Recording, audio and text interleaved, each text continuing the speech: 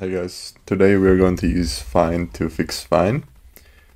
So when user adds the env variable, multiple env variables uh, in the project settings, the rows are not auto-propagating.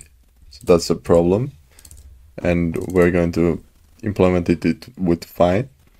So let's get back to our starter page and let's write a description. So and pasting the new variable in the env variables component.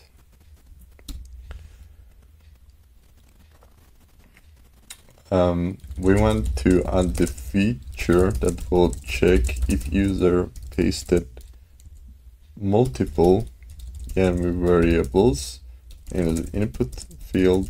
If yes, then propagate um, um, the variables in the input rows um, field. Okay, so let's try to implement it.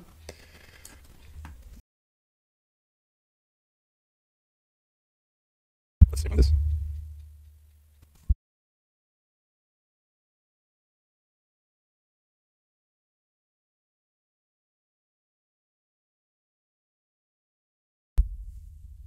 Now we can run the live preview in order to test the changes.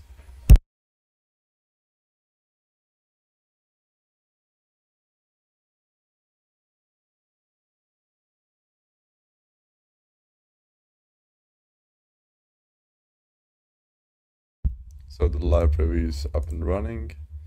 We got some error here, so probably send the env file. Okay, so we need to add the return here. And we can also save the count.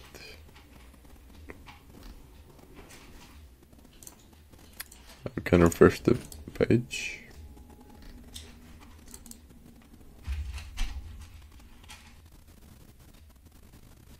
Okay, it's also we got one more issue here.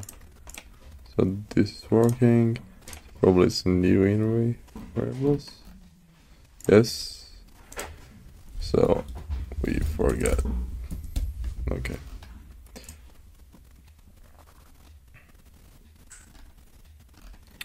I'm not sure why we have double paste here. We can also fix this.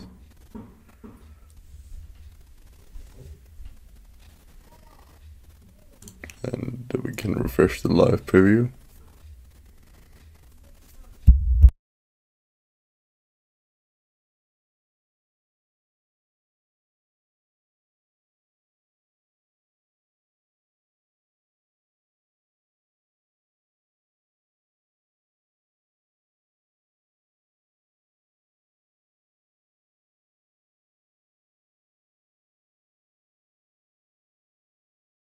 So that's it. As you can see, it's working. When I paste the env file, multiple env variables, I mean, they get, the rows get auto propagated and that's it. We fixed the Fine with Fine.